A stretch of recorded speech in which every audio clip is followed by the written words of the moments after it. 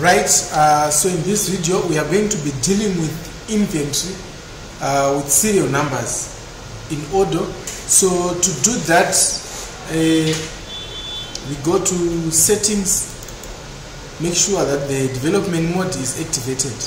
So we go to settings to activate the developer mode if it's not activated. So in my case it's activated.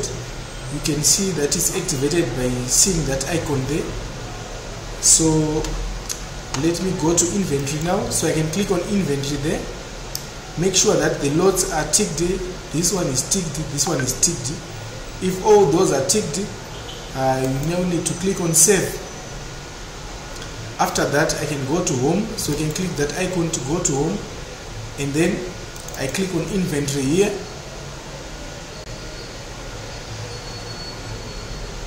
So we want to be adding our quantities and also putting serial numbers to those items at the same time.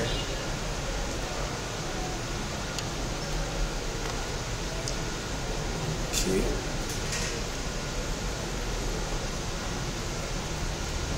It's taking a little bit of time to load.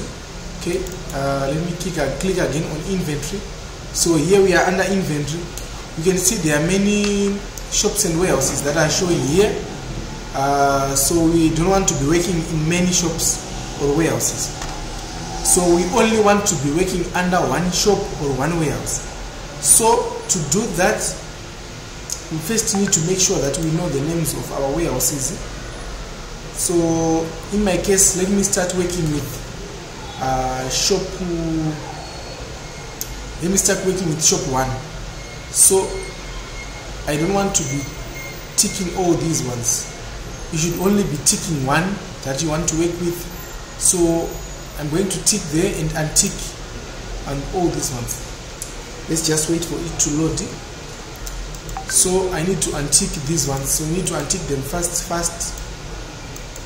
So the moment I untick it it means I won't be able to deal with that shop. Let me untick that one again. So we are left with one ticked here. So let it load again right so it have now finished the loading. So you can now see there are just a few shops here or a few warehouses. Also to verify your name of your warehouse you can just click on configuration and warehouses here. So here I can double click on that warehouse edit. So here our warehouse name is shop 1 let me just edit it to shop 1 let me leave it as shop 1 here so that it's easy to identify. Again I go down on shop name there. I also put shop 1 uh, and then I can click on save. So that's how you do to rename your shop your warehouses. Right uh, let it load. So now I want to go to products and then I click on products so here is the list of my products here. So I want to view them in a list view. So you click here where is the list view. It will give you more a good view. So let me start with the let me start with AA1 so you can see there is no selling price there is no cost price. So let me start with AA1 so I double click on that item named AA1 and then here you click on edit click on edit and then after clicking on edit we go to selling price. So let's say our A1 is going for three dollars. And then we put our cost our cost is two dollars. And then we put the company where this price is going to appear for.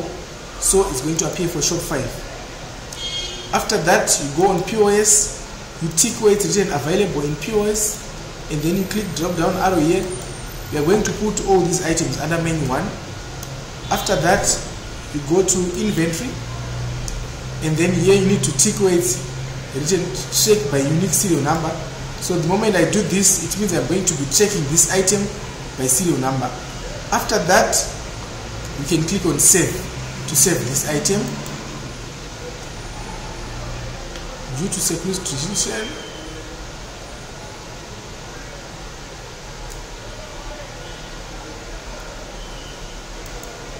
okay okay just a second. Okay i'm working in shop one so i should have selected a shop one here. So drop down arrow. So this price is going to be for shop one. So i can click on save there. Right? After that we now want to move to quantity so to go to quantity i can click on quantity on end there. And then i click on create. Then i go on location i select location. We are going to select this one written shop one store so i click there serial number i scan my, my barcode and then it looks like this this serial number is not in the system. So you just need to click on create now. And then you click on save. And then click on create again to enter the next item. Uh, you click again shop one uh, we scan the serial number. So if it's not in the i system i click it and then i click on save. So after i finished it uh, i can go back to products so i can just click here here. I will go back to this item. So you can now see there's two two units for this item. So that's it for adding our items uh, in the system so in this case we have added quantity we have added price and we have said that this price only applies to this shop or to this company. Uh, we have also come here under inventory and ticked where it's written check serial numbers so that we are able to check serial number for this item. So that's it for doing serial numbers. If you also want to put pictures you can put pictures from here. Uh, you can click there and then here you can select the the picture. Let me just select that one. So let's say that the picture of my product. So that's it.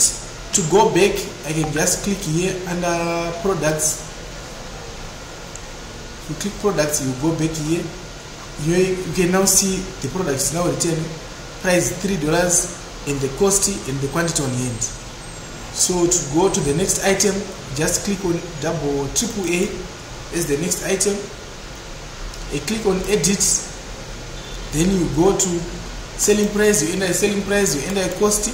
Then you go to pos you tick available in pos and then here we are going to put them all under menu one. The reason being is because we are not going to be using these menus in the pos we will be searching the items. Because our items are too many so we will not be checking them.